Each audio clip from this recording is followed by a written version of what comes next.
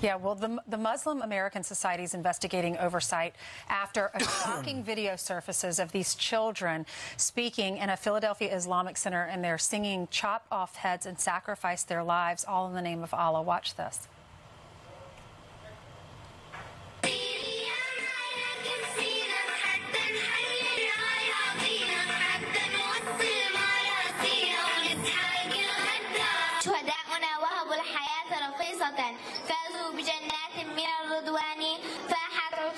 المسك من أجسادهم أو هل تكون القدس عاصمة لهم وتكون مرجع مرجب وجبان وسنضرب الآناق عن أجسادهم ونحرر الأقصى الحزين العالي ونقود جيش That was in Philly. Uh, the organizer of that event has uh, been dismissed, and the organization says that it was an unintended mistake and an oversight. Really?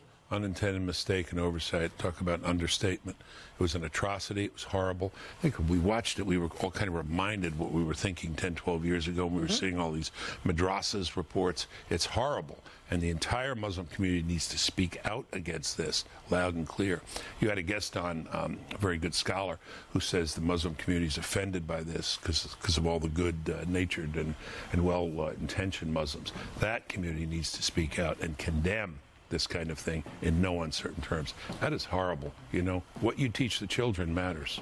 Uh, I would think so, considering that was they weren't ad libbing, uh, they were reading. And there were adults in the room. There were a lot of adults in the room. Uh, and so this thing had to be vetted by some number of adults.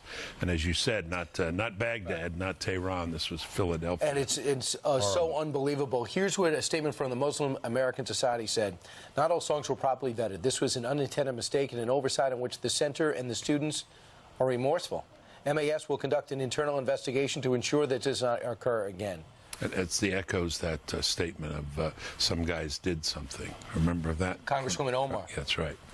Understatement. hard to believe Understatement to say the least. I would love for he to hear from her now. Yeah, Wouldn't let's it- this would be a great opportunity for her.